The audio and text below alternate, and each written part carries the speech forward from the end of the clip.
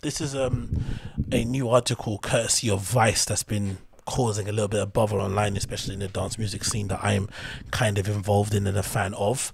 And this is regarding Beatport and their conduct um, with their staff members and whatnot. And this is uh, courtesy of Vice. The title is Former Beatport Employees Alleged Toxic Workplace Where Fear Roared. Uh, the powerhouse dance music retailer preached um, inclusivity and diversity, but ex staffers say bullying, sexism, and casual racism was per was pervasive. This is an article written by Annabella Ross, who you most guys would know for writing some really cool and scathing articles concerning some people within dance music and just exposing the kind of rotten underbelly that seems to perpetuate um, this scene and seems to kind of make it a little bit unfun to kind of be um, associated with. But essentially, it's quite hilarious anyway, because, you know, all this stuff that people were doing in terms of, you know, pretending that they were, you know, for inclusivity and diversity. I don't think anyone with actual, actual brains would actually believe any of this stuff, especially if it's a big business that's got massive turnover and is you know generating loads of money and high revenue whatever it may be i thought these were always buzzwords whenever a brand you know pops up a logo or a flipping um, vinyl letter sticker outside of their shop window with the lgbt plus colorways and stuff i never think that they're you know i never think that they've completely ridded their company of bigotry of you know um, homophobia or whatever it may be. I just think it's them trying their best to uh, acclimate to this new society that we live in, where people in general don't really stand for no lack of public inclusivity. Whether it happens behind the scenes and stuff, they don't stand for it publicly. They kind of react to it very negatively. So in order to protect themselves and inoculate themselves from any kind of backlash, they put a flag up, they paint something, they give you a pin, whatever it may be, just so you leave them alone. They're essentially signs or badges to please look, I'm I'm obeying you guys, I'm agreeing what you guys say, leave us alone, don't hassle me, let me run my business. But they don't essentially um, represent the thoughts, feelings, ideas, point of views, way of life, um, acceptance of people that run the company at all. Zero. I get no insight about what the company's culture or what they stand for at all because they decide to you know, put a black square on their feed or have a rainbow flag somewhere on their window. It just doesn't make any sense. I never thought that was the case. But people did think that was the case and they were living in La La Land, then I'm sorry that your reality has been shattered. But anyway, this is courtesy of Vice. So it says as follows. It says it was June 24th, 2020. Ava, a label manager at the online music electronic uh, store Beatport, was dreading an up and coming Zoom meeting on the company's social activism. I don't know people who work in companies where you have to talk about politics and stuff and get involved in this kind of stuff. But I personally don't think it's the right way to go about things personally, because I don't think it's the right way to go about it. You're always going to offend somebody. Somebody's always going to think that you're not doing enough. And in general, I just don't think it's the place for businesses or corporations to try to get themselves involved in social issues to that extent. If you want to, you know, lend some money, you want to start up an initiative, whatever it may be, so be it. But conversating and talking about the world's problem at a workplace, it just serves no purpose whatsoever. Because for the most part, there's very, very little businesses like Beatport can do for the wider problems that, you know, um, pollute our world at the moment. What can they do about systemic racism, really? What can they do about um, police brutality, really? What can they do? Like, not much. They can bring attention to things that we see in the news and whatnot, but are you really going to Beatport to find out about another cop that killed another black kid? Probably not. You're going there to try your best to kind of unplug from the daily horrors of life. You don't want to go there and be reminded again about some horrible thing that you saw online because who can stand that? Who can stand to be completely be bombarded with horror after horror after horror. I can't. I know I can't. I know it's horrible to see. We all saw the images of George Floyd. We know how terrible that was. We don't want to again perpetuate that at work again. Who wants to go through that? I don't know what workplaces you work at, but usually when something terrible happens in the news, you don't spend the entire day talking about it at work. You might talk about it in the morning, but then by the afternoon, you kind of want to forget about it and just talk about your weekends, talk about where you're going to go on a holiday, talk about how your boyfriend's hassling you, whatever it may be. Anything but what's going on in politics. But some people I guess, just have that thing about them where everything they do is political. Everything they do has to be political. And I think that is really the worst way to go about things. I think, if anything, especially for people who are already bigoted, this actually turns them against you. This actually makes them less sympathetic or less sympathetic to your point of view and to what you want to do and the changes you want to make. They don't understand it because they can't, you know, they can't even get where you're coming from anyway. And now you're annoying them. It just doesn't make any sense. So imagine setting up a Zoom meeting with your superiors about social activism. It just seems insane to me. But anyway, continue. Ava's name has been changed to protect her privacy. Okay, cool. Completely air out a company, maybe you know, effectively maybe in some way affect their flipping stock price, maybe put people's jobs at risk because you're, you know, tarnishing them with the brush and making them look like they might be bigots and racist and whatnot, but then hide my name. it's like, come on. Anyway, let's continue. Like many companies suddenly grappling with George Floyd's protest, Beatport was exploring what it could do to improve its approach to issues in race and diversity. Um, Ava, one of the few black employees at Beatport's Berlin office, yo, how many people how many black people even live in Berlin in the first place? Why even mention it? How many black people live in Berlin? How many black people that live in Berlin are actually into dance music? How many of those people who are into dance music want to work in dance music industry? Like the fact that they're mentioning it as if they're meant to have like a hundred black people working in there is nuts. There's not even a hundred flipping. Are there even a hundred top DJs that are black in the industry in the scene anyway? Can you think of them? A hundred hundred of off the off rip like that play all the time not the old ones like ones are like let's say ones who are like 18 to 35 are there 100 anyway out there and I'm, no light skinned people make sure it's involved no one pretty also. Black like me like do they are they even a 100 i don't think so. So the fact that they're pointing it out like this is just really weird but hey let's continue. Um, one of the few black employers at Beatport's office was among the approximately approximately sorry, eight staff members from the German and American offices attended the department meeting with CEO Robb McDaniels. I'd guess Robb McDaniels doesn't sound like somebody who's from the culture, but let's continue. Um, after Floyd's death, Ava had been talking with her peers at other music companies, including SoundCloud and Spotify. Ava, Ava's going in there and infecting every company with this rhetoric. I mean, Jesus Christ. I felt that people's response was lagging behind those of the rest of the industry. Like, what, what do you want to say? Um, on honestly, I'd rather they said nothing than that black square. That black square was so insulting, incredibly insulting. And most of those companies that were putting the black square up, what have they done since then? Absolutely jack shit. That's what they done. Jack shit. It continues on May 3rd, 2020. She emailed McDaniels. It's I thought it was McDonald's. She emailed McDaniels, who joined Beatport CEO um, in 2017, to ask him how the company intended to address the Black Lives Matter protest. In a phone conversation later that day, Ava said McDaniels told her that Beatport wouldn't post about BLM on social media because it felt that it would alienate their core customer base. Who's your core customer base, mate? Fucking. Aryan race. Why does he think it's going to alienate their core customer base? Like that's a mad response. okay, now maybe I'm on Ava's side here.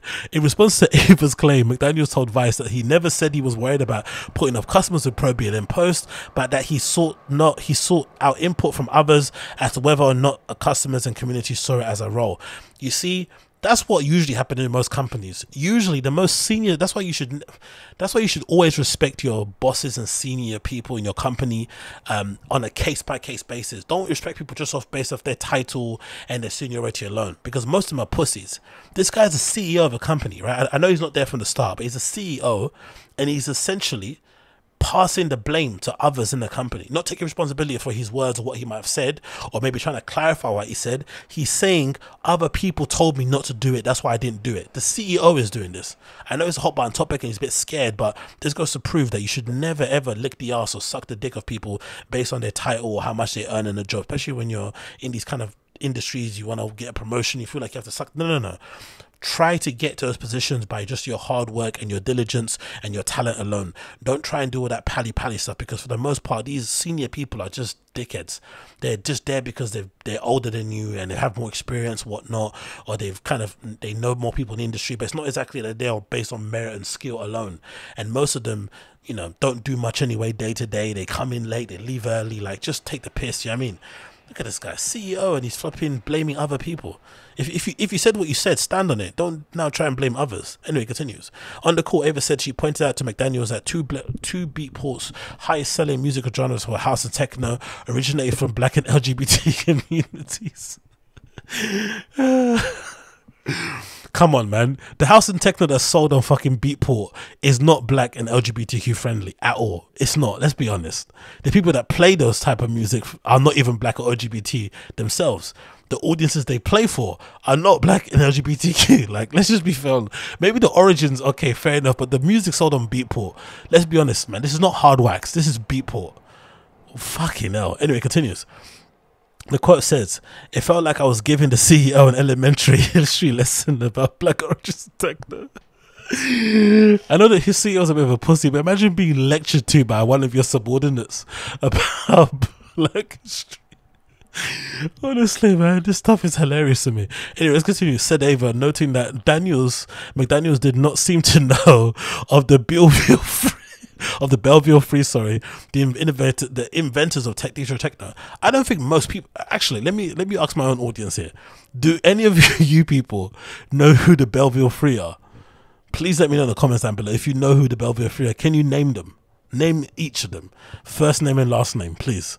It continues. I also had to explain how techno was inherently political when it was adopted by white spaces after the fall of the Berlin Wall. He did not seem to know. Oh my god. My head's hurting, man. My head is literally hurting at this shit. The Belleville Three was made up of the. Okay, we're going to skip that because I want you to say it in the comments. Um, the 1980s, they made the trips to Detroit, in Chicago music. Okay, they give us a history lesson on there. A challenging conversation about okay, let's continue. As challenging conversations about systemic racism unfurled across the world, Ava found it galling that the Beatport was profiting from the marginalized peers, pioneers of the scene. Oh my god, man.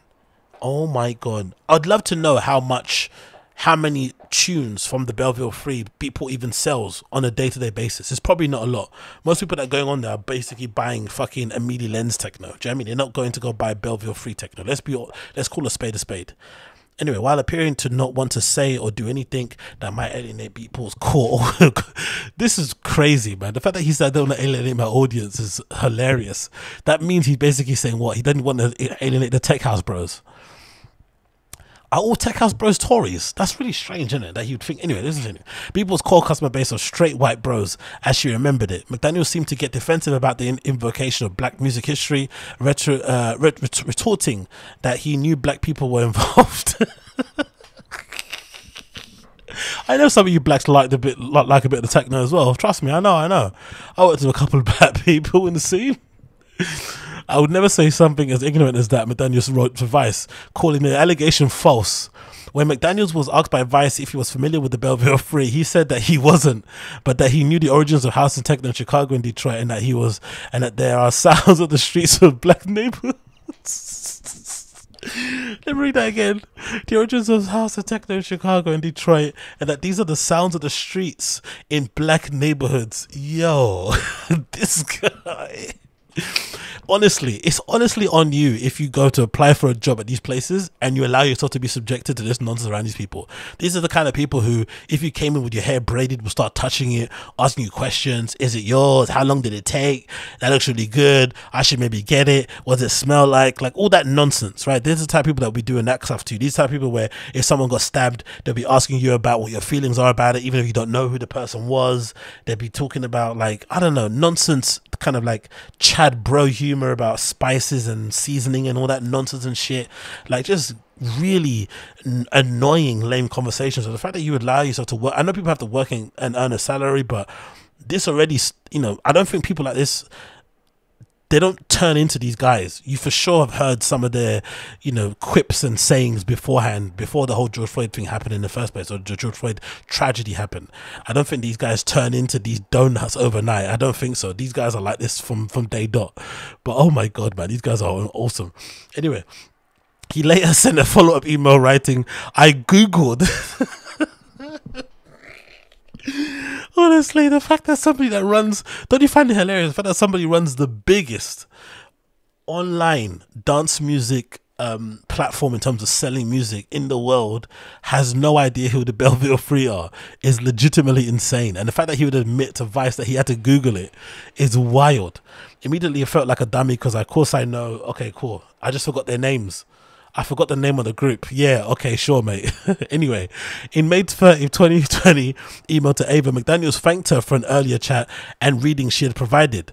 So this Ava girl sent her CEO article links and readings for him to kind of get read up on on why it's important to maybe respect black voices in dance music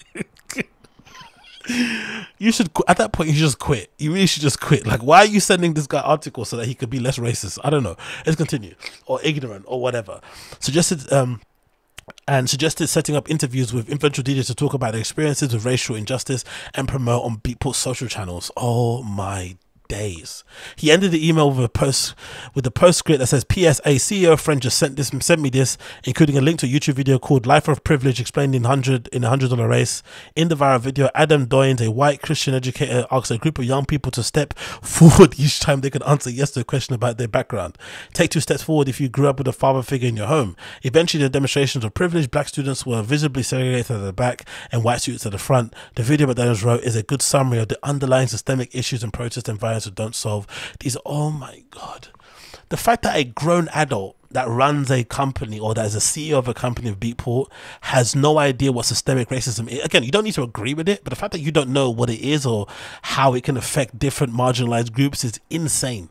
The fact that you need a YouTube video to tell you this, and he's probably what I'm gonna say McDaniels is at tops 50 years old. Tops, tops 50 years old. So running an online platform like Beatport is predominantly online. It's social media heavy. You have to be somewhat plugged into kind of youth culture and what's going on online and society and shit. It's not like you're running a fucking newspaper. Do you know what I mean? So the fact that he has no idea what systemic racism is, and he had to get sent some viral video that was trending on YouTube to fight to kind of get explained to him in dummy terms is says everything about the guy. So I don't know why Ava stayed there so long at the company. To be honest, I would have left ASAP. This is absolutely insane. Legitimately one of the most insane articles I've ever read in my entire life. But it also goes to show why, in general, all this talk about inclusivity in the scene and stuff is what is a waste of time because most of these guys don't care, most of these guys don't know, and most of these guys just I don't know live in their own bubble. So it's less really a, a, conversation about respecting the history of black contributions to this culture and whatnot, and we founded it. It's less about that and that, and it's more so about hey, let's just try to get involved. Let's also try to get a piece, because you know, for myself, I think there's a viral tweet going around where somebody was like saying, "Oh, why is it that you know all the all the light skinned girls basically get to be DJs? We don't see many dark skinned girls in it." And it could be applied to men also, right? In general, right? You, you see a lot of the good-looking mixed race light skinned dudes who basically look like male models being able to, you know, DJ and professionally in a very short space of time, while people who look myself are not really that you know um, common when you look at some of the big lineups in some of the big places around the world. Now, again, like I said before, it's mostly a selection thing, right? I'm sure there's probably not that many DJs out there who are black who play that type of music in those kind of places in the first place. I'm assuming it's a small pool, but still, the fact that those places, you know, promote themselves to be bastions of inclusivity and diversity and representation, it is a bit weird when some of those spaces only have a very whitewashed lineup, especially also when you think about the audiences that go to their parties parties. You think about the people that attend the raves and shit, and it's all just meh. Do you know I mean? So I think of the possession party that went to an E1 a while back, and you know the crowd was very diverse, right? Very um a, melange of people from all over the world, from different sexual orientations, you know, the way they kind of, um, uh, I'm sure pronouns, whatever it may be, right? All over the world, all over the place. But the lineup was very whitewashed. It would, it didn't really represent the crowd at all, and that happens a lot in a lot of dance music festivals. Even think of something like um, Tomorrowland the amount of girls that go to Tomorrowland is quite plentiful. There's a lot of Instagram accounts dedicated to just celebrating all the sexy girls that go to Tomorrowland. But how many girls have you ever seen play at Tomorrowland apart from the usual the usual lot, the Charlotte de Witts and Amy the Lenz, Amy Lenz, Amelie Lens and stuff. There's not many. So even places like that where they cater to like a predominantly European audience, they also don't even, you know, in, include gen- other genders apart from men. I mean? It's always just men playing for a cascade of girls who are scantily clad and whatnot. But you would imagine a place like that, if they if they actually propped up some girls who are part of the local scene who are up and coming, it would actually make the festival far better. Any other experience, um, for sure. But hey, is what it is. What do I know? What do I know? It continues. It says by the time the June 24th meeting commenced, Ava was on edge. Her fears were real. Okay, all this happened before the meeting. All this happened before that incredible Zoom meeting. Oh my God. Her fears were realized when a conversation on systemic racism veered towards slave trade and colonialism. Yo, if I'm going to work and I'm, and I'm in a Slack or I'm in a Zoom call and you start talking about the slave trade and colonialism, I'm closing that window. Send as many emails as you want. Send me as many DMs. Are you online? Are you online? I'm closing that window and I might even go and appear offline. I'm not being lectured to or being subjected to a conversation about the slave trade at my place of work. Generally most of us don't even want to work, right? We only work because we have to pay the bills, we have to keep a roof over our head. So we do it out of pure necessity, right? Ob- obligation to our family, to our friends, whatever it may be, to ourselves. We don't do it because we love to do it. Some of us have the privilege of being able to work in a company or in a, you know, have a vocation that we actually love, but most of us do it only to pay the bills. So if you think I'm going to be somewhere where I only have to pay, only there because I got to pay the bills and I want to sit there and talk about you know the slave trade and shit, you are having a laugh, mate. You're having a laugh. You want you want me to sit there and talk about uh, the latest flipping to Ta-Nehisi Coates article? Fuck off. Um, he said that African tribesmen have been killing. oh my god! He said the African tribesmen had been killing each other since the dawn of day. She recalled. So basically, what is honestly, yo, this is like this is definitely Blue Lives Matter. This is definitely giving Blue Lives Matter. This is definitely giving um you know, black people should stop having, you know, black women should stop having babies and shit. Um, you know, black people kill more black people than white people do. This is like those Republican right wing talking points. Um, she recorded said it was a it was a more stunning to Ava that the CEO's comments came in the midst of a meeting, um, ostensibly meant to in part to address Beatport's response to ex- extrajudicial violence um, against black people okay, this is what I don't like. Often arising from demon stereotypes and them really violent. You can't ask your company to talk about, you know, violence against black people in polit- in politics now at the moment in society, and then get mystified when the response is something crazy like this because they're in this again, they're nuts, but they're they're in the same universe. These these comments. They're in the same universe. They're obviously on different sides of the universe, but definitely in the same universe. Um, I'm just surprised that he'd say it so brazenly. I Ava felt that her face burning. She asked McDaniels to name these African tribes. he just said that he was a history expert, and she recounted. Um, he said, "Have you watched?" He probably said, "Have you watched Twelve Years a Slave?" she didn't say much for that in the rest of the meeting. I'm surprised he didn't say like more African tribes sold African tribes sold out their own people more than white people hurt black people. I don't know. Oh my god. McDaniels told Vice that this recollection was completely false. Okay, so she made up everything. He said he did not single out African tribesmen and that he thought the conversation was about protests in Colombia. What? And within the context of violence happening everywhere in the world, South Africa unfortunately is not immune to that. So he's saying because there's protests in Colombia, it means Africa shouldn't be what? Oh, yo, this guy is ah, honestly, this guy's the CEO of Beatport anything's possible. That's what I'm saying. That, that's why sometimes it's good we have these people in society, the likes of him, it sounds like, the likes of Boris Johnson, the Donald Trump. Say what you want about them as political people, but whatnot. But just in terms of them you know, and their kind of intellect and whatnot. It's nice to see because they occupy the highest positions in the world or in society, yet they're absolute oafs. So it should give you hope in wherever you're, where, wherever field of work you're in, that you can achieve great things. Because if they can do it, if you can become CEO of Beatport, what's stopping you from becoming an area manager of whatever store you're working in, or general manager here, or head of this, or whatever it may be? You can always progress upwards because there are generally so many dummies occupying crazy roles. It doesn't even make any sense because I, I would beggar, beggar, I, I really would debate and I'd really not believe that this guy being this dumb is somehow super smart in his role. I'm assuming his um, ignorance and his dumbness definitely seeps into his day to day work for sure. There's no way you can turn it on and off. You can't be talking about African tribesmen and shit. and blaming them for systemic racism and also then go and do a job and be a really high class top of the tier CEO that's been headhunted by all the big companies. It doesn't happen that way. He's probably an idiot as well when it comes to generally working in his own role. I'm sure of it. Anyway, continued by another colleague, Tracy, whose name has been changed for privacy reasons, was also in a meeting and supported Ava's recollection. She remembered being so shocked that she almost didn't believe her ears until after Ava asked McDaniels to name the tribes. I was like, fuck, this is real. She said, what is, what is this kind of view? Like, so dated.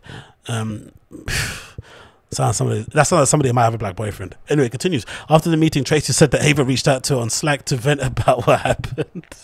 Imagine the, the conversation you're having after on Slack when someone says that. She said, I can't believe this. This is what it's like. Okay, what is this? What I heard? This is true. That's McDaniels, of course. Um, for those seeking a career in industry, getting a job at Beatport felt like scoring a golden ticket. In 2004, the company was established in Denver um, as the first online electronic music store um, of its kind. Employees, many of its hobbyist DJs and music enthusiasts were often starry eyed at the prospect of leaving and breathing electronic music. Da, da. As a 24 year old new to Berlin who didn't wouldn't want to work in a place like Beatport, said Brie, whose name has been changed. As cheesy as it sounds, it was a dream job. I love music. I love meeting people in music. Love traveling to clubs and seeing artists. And this job that I was promised on paper sounded like it would allow me to do all these things. Beatport as industry leader.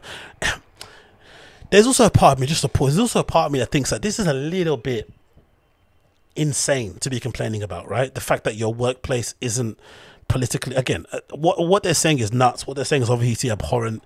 It's obviously ignorant. It's obviously bigoted. It's obviously racist. It's obviously insane right? Clearly we all know this. Let's not beat around the bush. It's clear. Easy point to make. Duh but it's also a bit insane given the given the climate that we're in at the moment, given the levels of unemployment, given how hard it is out there to get a job, right? I know from myself and my own experience, um, it took me a while to find a job that I finally have at the moment.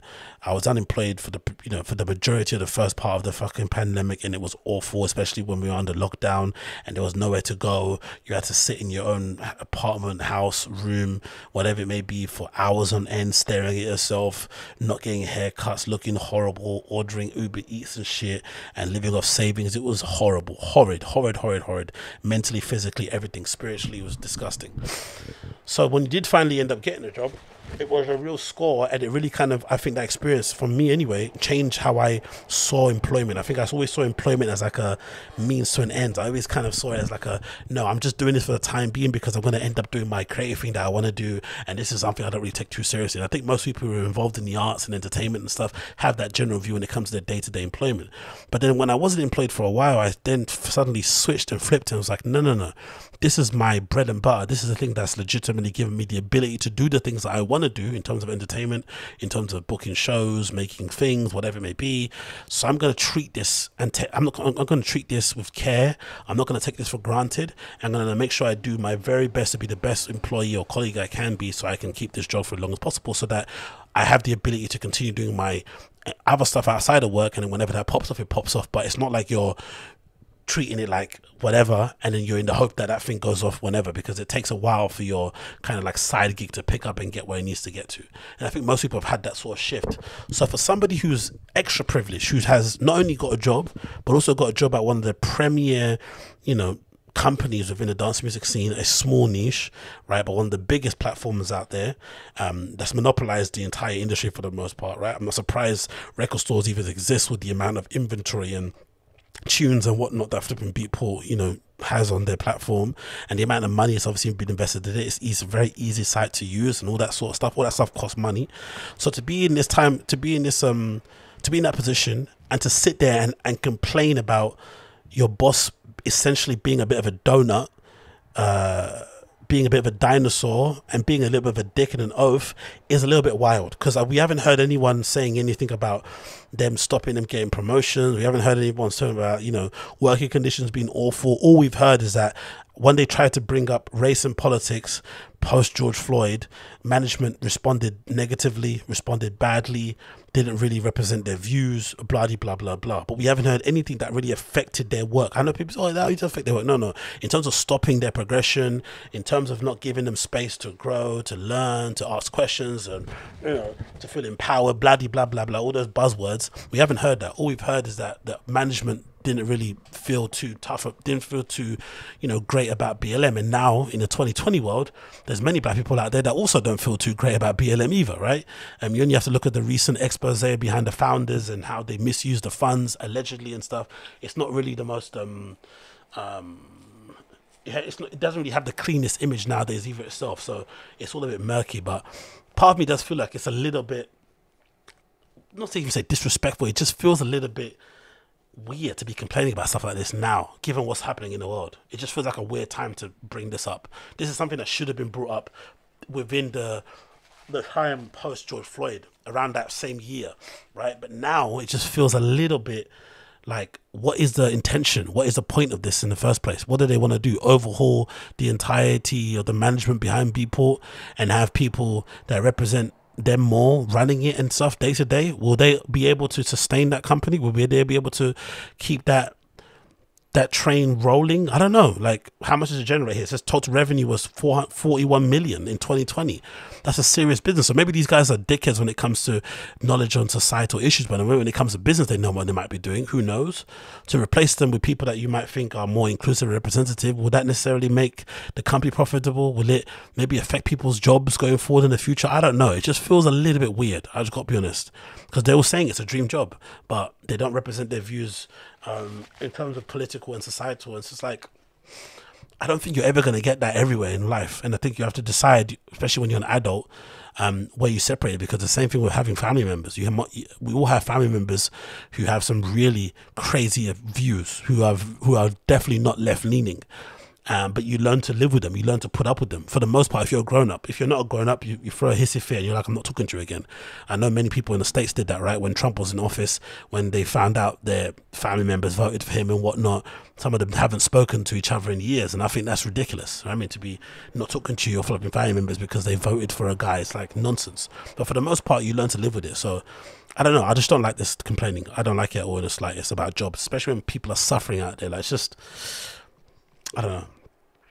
Anyway, continue to scroll by that one. Uh, recently, but yeah, but, but the, promoted image. Yes, anyway, that was a funny bit, right? But the other funny bit I thought was really hilarious was this, of RA. It says the Black Artist Database suspends partnership with Beatport following allegations of racism, bullying, and sexism. I just find it hilarious that a platform like the Black Artist Database, which is called BAD, um, acronym, didn't do any due diligence, no research, no auditing, nothing behind the scenes to find out who they were aligning themselves with in the first place when it came to setting up the black artist database or having it integrated with Beatport.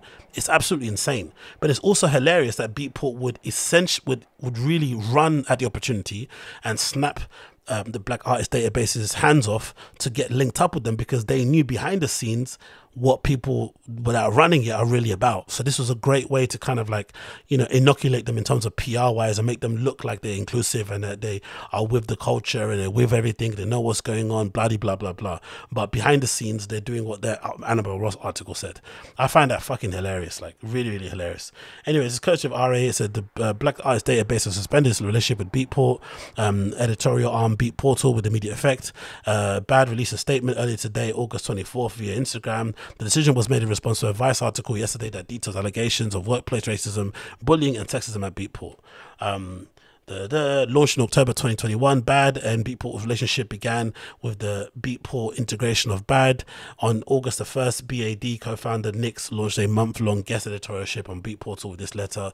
August cover star was Black Rave Culture. The Vice article reminded Belarus accused of several men in leadership positions at Beatport, including CEO Robb McDaniels and Chief Revenue Officer Jonas Tempel and former Berlin Officer General Manager Terry, whatever his name is, of casual racism, bullying, and misogynistic behavior towards staff. Right, cool. The accusers accept some allegations and not others. And then you look at what um what Beatport was, what Bad is about, right? Because I, I, I, didn't really know too much about them. I remember seeing their name featured in places, but I didn't know too much about them. So as follows: their mission statement: Black Artist Database, formerly known as Black Bandcamp, which is absolutely insane when you think about what Bandcamp is about, right? What Bandcamp's about, when I remember it, um, was that it was meant to be a platform where artists receive the most royalty in terms of percentage, right? Because I guess if you go and stream an artist's music on Spotify, they get a really small percentage of the revenue that generated from those streams, and same with Apple Music and whatnot. But Beatport, Bandcamp, sorry, sold themselves under the premise that we only take like 20% and they get 80 or something along those kind of lines, right? Um, so you're essentially putting money directly into the artist's pocket by having this one-stop shop where you can shop many different artists, many different genres, blah blah blah blah and it was always kind of i felt like for me represented the underground the kind of alternative people people who are non-commercial which by proxy i would imagine would be people of all walks of life. It wouldn't just be white people. So to think to set up a platform and call it a black Bandcamp is insane because it's as if like the niche of the niche, which is Bandcamp, is still not enough to represent you. You need another thing to represent you. It's like you're you're othering yourself again, but then you also want to be involved. It just it just feels a bit backwards to me. It really does. But again, what do I know? It's a community-based platform hosting um, a wealth of international black-owned record labels, artists, producers, and bands. This crowdsourced database provides an easy-to-search filter and directly support the creative output of black artists globally via their online profiles. The database is continuous work in progress maintained by volunteers and paid administrators. It's hilarious in a way because this is the kind of thing that I would imagine like a festival like Field Day or something would get in trouble because they put a a lineup out that was all white, and then somebody involved in the booking team would search black DJs, they'd get black database, and then go through people, just find someone cool that they could kind of see who's got dreads, who's got a tattoo, whatever, somebody, yeah, and then just book them. It wasn't based on anything about you know, learning about the artists. Do you actually like them? Just kind of ticking off boxes, which is quite disgusting. I'm not gonna lie. You know what I mean? Especially for myself, being a black DJ myself, I'm like, would I be happy with being the token person on the lineup if it meant that I got to play? Because I now don't play at all, especially post pandemic. Would I be okay with being tokenized, or would I want to be only on a lineup on merit? And to be honest, as somebody who's bereft of bookings, who hasn't played a paid gig in months, somebody who was playing every single month before the pandemic, right? I would say on hand on heart, I would much rather play on merit than play based on my skin color or my race or whatever. Honestly, there's no way that I'm ever going to be okay with being played just off the sake of my flipping race and whatnot, just as a token. Even if it's going to be at Berghain, even if it's going to be at fucking Dekmantel, Boomtown, Houghton. No, I'd much rather get there off on merit of my skill, my application, my hard work, my diligence, my personality than my flipping race. Oh yeah, cool black guy, weird hair, he wears glasses, let's put him behind the booth. Fuck that. I don't want that. But some people do and maybe that's a way to start. I don't know, but I just think it's really gross. Um, it's like a, cat, a, a, a library of like. Imagine if a white person started one. Like, you just imagine the outrage. I don't know. I just, I just don't know. I don't know. The database was started um, as a community effort on the 4th of June as a Black Band Camp on the 5th of May, June 21. The project launched as Black Day Artist Database, a move which will hope to expand the project scale and scope. Da da da da da. Right or whatever it may be. Um, but yeah, I just think that's hilarious that they didn't do any research on Beatport and what they were about. But let's read um, Band's statement regarding all the stuff we've heard about Beatport. So, Band said as follows: They said. In light of the allegations regarding the safety of Beatport's workplace for black safety. These words are funny because you think about what the guy said about black tribesmen. Oh, it's not even black people's safety. It should be his safety. If he said that to me and he was in my face, I'd headbutt him. Do you know what I mean? It's not even uh, our safety. It's their safety. Like, what? Black. Tra- anyway, let's continue. Um, black employees highlighted in the piece published by Vice yesterday, alleging racist, sexist, and bullying behaviors by people's management. Black artist database is immediately suspending partnership between ourselves and Beat Portal pending further internal review. Once we have conducted our internal review, we'll return with a further course of action. So they haven't even made a final decision yet. The money and the opportunity is so good that they're still hesitant to really pull the cord completely. I think that article is pretty solid. I wouldn't, you know, maybe there's some embellishing here and there, but I think generally what they said about the guys in the senior team and what they said around Black Lives Matter and stuff is probably true, right? They probably think that way. You would have to imagine. So it's like it's no surprise really, and it? it's like it's like rocking up to a guy at a tech house rave and asking him about you know, if he believes in gay rights and shit, you might get some spicy responses. You should know that, right? But people that go to this kind of, it shouldn't be shocking to you. You shouldn't be, you know, whatever. Um, so the fact that they're not making a final decision now is pretty, pretty hilarious. But maybe they have, they have some procedures they have to go through, whatever. We draw significant support from the shared experiences of our community, and we remain faithful to our goal of amplifying these voices and experiences. Um, further to the, those sentences just don't mean anything, can it? These kind of what does what does that even mean? Like what does that whole sent? What does that whole sentence or paragraph mean in general? What does it mean? Anyway, let's just continue. Um, further to this, we are very sad to announce that we have to cancel our planned BAD presents the Carney dance on the Saturday, Sunday the 20th. oh, honestly, man, it's like for some reason I always thought again this is really bad to say, right? But I always thought to myself, you know, those white guys who are really into like ska and stuff. I don't know why, but I always thought to myself like it was always like a really funny ruse to like protect yourself against claims of racism, right? To be like, I'm into ska, I'm into reggae. Those like white guys that wear like Dr. Martens and have like long sideburns and shit and wear like green and like jeans and like track jackets and polos. It's like a weird kind of like offshoot of the Proud Boys. It's, it's, it's a Proud Boy before the Proud Boy, right? Like Proud Boys nowadays, you say, "Oh, I'm not racist. The founder of Proud Boys is black." You know that kind of nonsense they say.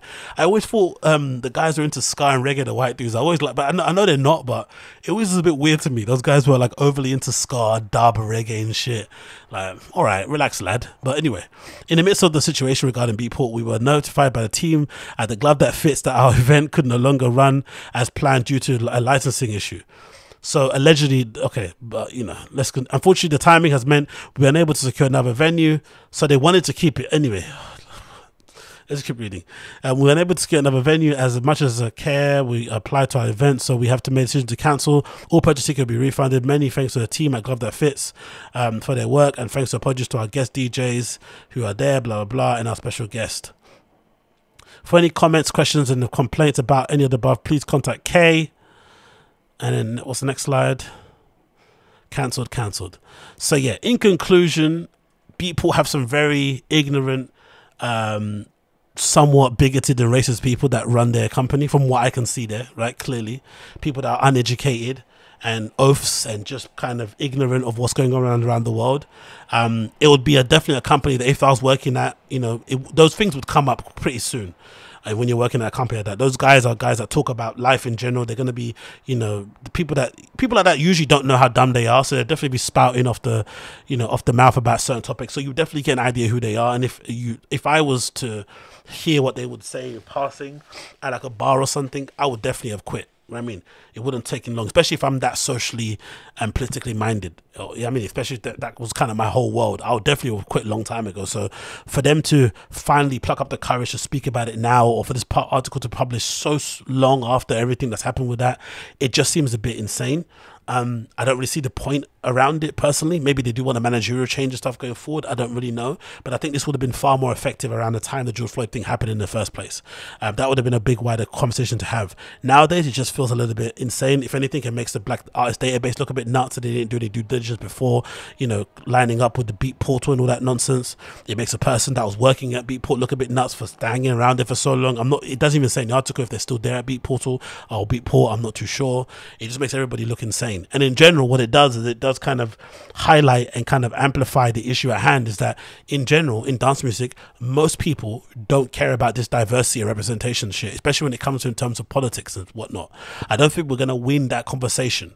I don't think we're going to convince them of it in general. I think the best way to go about it is just to say, we need more representation in dance music in general because the, the, the, the, artists and the people who are on the lineup need to be more reflective of the people that go to these events and that listen to their music, watch their streams and whatnot. You can't, like I said, at the possession event I went to in E1, that possession event I went to E1 was really diverse. There were so many people from all walks of life that attended it, people from all different types of countries. But for some reason, the lineup was very, um, I would say, whitewashed with the exception of Charlie Sparks. I think maybe in the lineup there was, you know, basically the same same opposition lineup that you always get, and which is kind of kind of disappointing, especially when you consider that they are they've essentially got the youth market by the balls. So we just want to see more representation. Same thing goes for Awakening. Same thing goes for the big festivals out there. Representation means highlighting people from other communities who aren't just a stereotypical white dudes that play these kind of things. Now, I don't think that conversation should be a politically minded conversation because they just don't care. It shouldn't be societal because they just don't care. It should just be more so let's have the artists reflect the people that actually listen to this shit. And maybe just maybe we might get them to listen. Maybe we might get them to listen. But I think leading with this whole like politics, Black Lives Matter, racism shit, they just don't get it. They really, really don't. Because to them, they feel like because black people exist and they're walking and breathing in the world, it means racism doesn't exist. You know what I mean? They don't even like this guy didn't know what fucking systemic racism was. He had to be sent a viral video of some challenge of stepping forward and stepping backwards to, to know what privilege is. He didn't even know what privilege was, bro. Like, are you insane? You cannot believe these things, fair enough, but not being aware of what they are and the, and the role they play in society is absolutely nuts. And I think now this might have explained or explained this should have exposed how most people are in these positions who work in these places. And I think the general consensus about most people is that they'd much rather have these dance music spaces or platforms be an escape from the drudgery of everyday life. They don't want to be subjected to, you know, lectures and all that stuff about Black Lives Matter, about societal things, because eventually it just makes them feel shit. And no one wants to make no one wants to be made feel shit and then get told to turn around and, you know, change how they act. It's just not gonna work that way. So just force just force the representation more so in terms of let's just get it more representative of the crowd that go to events and let's not make it political. But I thought the article was absolutely insane. The people to people that run it are absolutely nuts. And if anything, it gives me confidence that I can achieve whatever I can achieve if that guy is a CEO of fucking people. McDaniel sounds like an absolute cunt. goes without saying. But yeah, check it out the article if you want yourself. Um, I'll put the link, the article back up here so you can check it. It's from Vice. The title of it is as follows Former Beatport employees allege a toxic workplace where fear ruled. I'll put it in the flipping show notes so you can check it out. Sorry, there it is on Vice. I'll check. I'll put it out there so you can check it if you want. I'll put it out there if you can check it.